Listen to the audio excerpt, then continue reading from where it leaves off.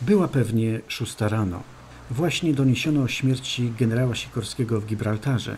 Zaraz zatelefonowałem do Matuszewskiego i obudziłem go. Wiadomość ta, tak ważna z politycznego punktu widzenia, wstrząsnęła nami wszystkimi. Tegoż dnia w hotelu George Washington na wschodniej 23 ulicy odbywał się walny zjazd polonijnej antysowieckiej organizacji politycznej. Korzystając z przyjazdu szeregu wybitnych działaczy niepodległościowych, postanowiliśmy zrealizować plan od dawna nas nurtujący powołania do życia Instytutu Józefa Piłsudskiego poświęconego badaniu najnowszej historii Polski. W roku 1943 następuje założenie Instytutu przez osoby zaangażowane politycznie, wybitnych członków rządu i osobistości wojskowych z ery Józefa Piłsudskiego. Założenie następuje przy współpracy z Komitetem Narodowym Amerykanów Polskiego Pochodzenia i pod honorowym patronatem pani Aleksandry Piłsudskiej i generała Kazimierza Soskowskiego. Instytut Józefa Piłsudskiego jest kontynuatorem istniejącego w Warszawie od 1923 roku Instytutu do Badania Najnowszej Historii Polski. Na ziemi amerykańskiej Instytut stworzyli działacze niepodległościowi, polonijni, Maksymilian Węgrzynek, Franciszek Januszewski i Lucjusz Kuperwasser oraz ministrowie II Rzeczpospolitej, przyjaciele marszałka Józefa Piłsudskiego. Wacław Jędrzejewicz, Ignacy Matuszewski i Henryk Flora Reichmann.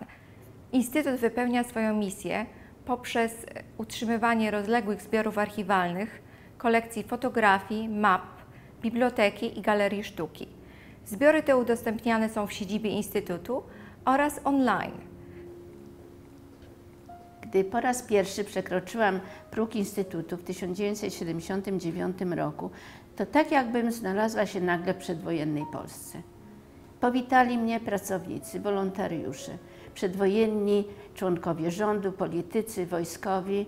Najważniejszą osobą w Instytucie był profesor Wacław Jędrzejewicz, szanowany, szanujący i bardzo lubiany człowiek, najważniejszy autorytet w sprawach historii, polityki i ludzkich. Przywitał mnie sam profesor Jędrzejewicz, ostatni minister edukacji w rządzie Piłsudskiego. I niesłychanie byłam tym przejęta, że oto widzę taką postać historyczną. Wydawało mi się, że to musi być wielkie szczęście być w takim miejscu i czytać to wszystko, o czym nie można było jeszcze wtedy w Polsce czytać. Jakie to musiało być wielkie szczęście oglądać te wszystkie zakazane postacie i dowiadywać się o tych zakazanych tematach. O Katyniu, o powstaniu warszawskim, o wojnie z bolszewikami w latach dwudziestych, o wszystkim. Takie było moje pierwsze spotkanie z tym instytutem. Poczucie onieśmielenia, zazdrości wobec wszystkich, którzy mogli tam siedzieć i czytać, dowiadywać się. No i wielkiego zaszczytu, który mnie spotkał, że mogłam przywitać się i profesor Jędrzejewicz poświęcił mi czas. Kolekcje archiwalne Instytutu liczą milion dokumentów. Jest to ponad 200 metrów bieżących, a z początkiem 2013 roku zbiory te obliczano na 35 tysięcy jednostek archiwalnych. Do najważniejszych zbiorów archiwalnych należą tzw. Tak archiwa belwederskie, które zostały uratowane z płonącej Warszawy w 1939 roku. Zbiory te zawierają podstawowe i najważniejsze dokumenty kultury polskiej dotyczące kształtowania granic Polski w latach 1918-1922. Stanowią obecnie około 20% z naszego zasobu. Instytut funkcjonuje jako baza, jako oaza um, polskości w tym sensie, że, że tutaj mamy dostęp do bardzo ważnych zbiorów. Tutaj są zbiory, które pozwalają na intensywną pracę nad trudnymi tematami. Teraz zajmują się stosunkami właśnie polsko-niemieckimi i bez zbiorów tutejszych to też nie byłoby, byłoby niemożliwe. Czytam bardzo ciekawy zbiór, mianowicie byłego ambasadora polskiego w Berlinie, um, Lipskiego bo interesują mnie stosunki niemiecko-polskie z lat 30.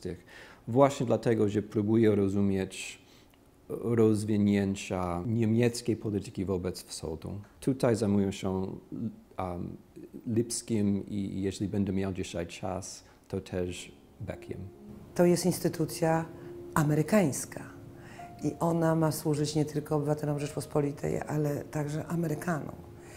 Ona nie tylko jest symbolem, bo jak się wchodzi dzisiaj do nowej, już trochę starej siedziby, to ma się wrażenie, że się wchodzi do muzeum, bo są tu obrazy, są tu y, medaliony, są tu szable, wszystkie cudowne portrety, ale to są tylko znaki czasu. Ale tak naprawdę bogactwem tego instytutu wtedy i dziś są zbiory. Są zbiory, które są źródłem ciągłego poszukiwania odpowiedzi na różne pytania z historii, na które Polacy ciągle szukają odpowiedzi, ale też Amerykanie, którzy interesują się tamtą częścią świata. Na te pytania mogą znaleźć odpowiedź tutaj, w tych archiwach. Przez długie lata swojej działalności Instytut koncentrował się na wydawaniu źródeł historycznych zdeponowanych w archiwum Instytutu. Najobszerniejszą część zbiorów stanowią materiały archiwalne pozyskane na terenie Stanów Zjednoczonych. Pochodzą one głównie ze zbiorów polskich dyplomatów, mężów stanu, generałów i wielu innych wielkich Polaków, którzy po II wojnie światowej pozostali na emigracji. Poza archiwum Instytut posiada bibliotekę liczącą obecnie ponad 20 tysięcy tomów. Na bibliotekę składają się książki wydawane na emigracji oraz te, które uzupełniają zbiory archiwalne i zostały zdeponowane wraz z nimi. Oprócz książek w bibliotece znajdują się czasopisma. Są to zbiory czasopism i gazet wydawanych w okresie II wojny światowej oraz wydawnictwa tzw. Tak drugiego obiegu, wydawane w Polsce i poza jej granicami w latach 1971-1989. W latach 1979-2008 dochodzi do głosu nowe pokolenie urodzone w Polsce z, Wilnem i Lwowem, a zagospodarowane po wojnie na obczyźnie. Są to dwaj członkowie ugrupowania NID, Niepodległość i Demokracja, Tadeusz Pawłowicz, który piastuje prezesurę przez 5 lat i następnie Stanisław Jordanowski przez 10 lat. Po nich prezesem na krótko jest Andrzej Beck, syn ministra MSW i Jacek Gałązka, syn generała, wychowanek Korpusu Kadetów. W okresie Solidarności stanu wojennego w Polsce do Nowego Jorku przybywali młodzi imigranci z Polski. Na moją i ich prośbę profesor Wacław Jędrzejewicz wygłosił serię wykładów na temat Józefa Piłsudskiego i z zakresu historii dwudziestolecia. Dzięki tym wydarzeniom powstała grupa dyskusyjna młodych. Wielu z nich posiadało wysokie kwalifikacje zawodowe i silne poczucie niepodległościowe. Kilka z tych osób zasiliło wtedy władze Instytutu. W galerii Instytutu zobaczyć można ponad 240 obrazów, olejów, rycin, rysunków, które zostały przekazane jako dary. Uwagę zwracają prace o tematyce historycznej, patriotycznej, portrety marszałka Józefa Piłsudskiego, portrety wybitnych polskich mężów stanu. Instytut posiada także bardzo interesującą kolekcję fotografii, plakiet, medali, map z okresu XIX wieku, a także pamiątek historycznych. Tutaj uwagę zwracają mundury z okresu II wojny światowej wojsk polskich na zachodzie. Dzisiaj Instytut przechodzi rewolucję cyfrową. Podjęliśmy się szerokiego i rozłożonego na wiele lat procesu digitalizacji naszych zasobów archiwalnych.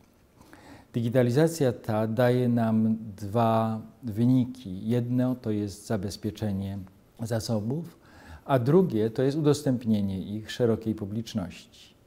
W tej chwili obecny na naszej stronie jest siedem kolekcji archiwalnych, a o popularności naszej strony może świadczyć fakt, że w ciągu roku odwiedza ją ponad 20 tysięcy badaczy historii z Polski i z całego świata.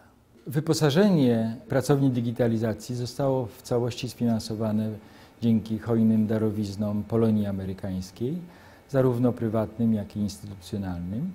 Natomiast sam proces y, digitalizacji jest przeprowadzany przez naszych pracowników, wolontariuszy. Dzięki grantom z Senatu y, Rzeczpospolitej, a ostatnio z Ministerstwa Spraw Zagranicznych, poprzez Fundację Semper Polonia i Fundację Wspólnota Polska. Ostatni okres to domena osób wykształconych w Polsce po roku 1945 z doktorem Magdą Kapuścińską na funkcji prezesa i doktorem Iwoną Korga jako dyrektora. Jest to okres renesansu Instytutu, wzmożonej akcji odczytowej i reprezentacyjnej z lawiną kwerent przy współpracy z polskimi instytucjami w kraju. Celem promocji kultury polskiej w Stanach Zjednoczonych Instytut organizuje gale nagród, podczas których przyznawane są medale wybitnym przedstawicielom kultury, sztuki i biznesu. Instytut organizuje konferencje popularno-naukowe, spotkanie z autorami książek, lekcje historii dla dzieci i młodzieży, projekcje filmów dokumentalnych i inne ważne spotkania i obchody rocznic patriotycznych. Ludzie chętnie tu przyjeżdżają, mają zaufanie do tego instytutu. Że mieć tu wykład, spotkanie, wieczór autorski, to jest prestiż. Co jest ważne, to to, że również nasza młodzież polonijna, dzieci, których dziadkowie i rodzice dbają o poczucie ich podwójnej tożsamości, nie tylko tożsamości amerykańskiej, ale także tożsamości polskiej, że one tutaj przychodzą. Czy z organizacjami harcerskimi, do których dziadkowie i rodzice ich tam popychają, czy też ze szkół y, sobotnich y, nauki języka polskiego i historii. I chyba jest łatwiej uczyć się, mając w otoczeniu te portrety, mając w otoczeniu te pamiątki, gdzie jest fizyczna jakby obecność tych dowodów na historię, niż po prostu zwykłej, zwyczajnej bibliotece. Tu się wchodzi do II Rzeczpospolitej, do tego miejsca. I tu można spotkać ludzi, y, którzy może nie przyszliby do innego miejsca, a może nie przyjechaliby w ogóle, ale tutaj przyjadą i będą mówić o tych wszystkich sprawach, które wciąż jeszcze wymagają poszukiwań, studiowania i odpowiedzi. Znaczenie Instytutu polega właśnie na kontynuacji pewnej tradycji. Że tutaj chodzi nie o, tak o, o, o Polską w ogóle, ale o, chodzi o tradycję Piłsudskiego i tradycję Piłsudczykowskiej. I, bez, I to pozwala zaczynający się, zaczynający się historyka amerykańskiego rozumieć, że trzeba polityką polską rozumieć z nuancami, że to nie jest po prostu kwestia etnosu i komunizmu, ale właśnie są nurty polityczne, które są trwałe i ciekawe. Instytut swoich działaniach kieruje się patriotyzmem, promuje polską historię i kulturę na całym świecie. To jest również miejsce, gdzie panuje atmosfera przepełniona ideami niepodległościowymi Józefa Piłsudskiego, która przyciąga ludzi z całego świata. O przyszłości myślimy w Instytucie z entuzjazmem i radością. Mamy zaangażowanych ludzi, którzy wspierają Instytut. Przybywa wolontariuszy i członków. Każdego dnia tu w Nowym Jorku staramy się zrobić coś dobrego i ważnego dla kultury polskiej. Minęło ponad 30 lat, odkąd pierwszy raz przyszłam do Instytutu. Po tych latach ścisłej współpracy Instytut stał się najważniejszym miejscem w moim życiu, gdzie mogę pracować dla Polaków w kraju i za granicą. Ten błyskawiczny rys pokoleniowy pozwala spodziewać się, że ta skarbnica pamiątek narodowych będzie cieszyć się opieką jeszcze przez wiele, wiele pokoleń.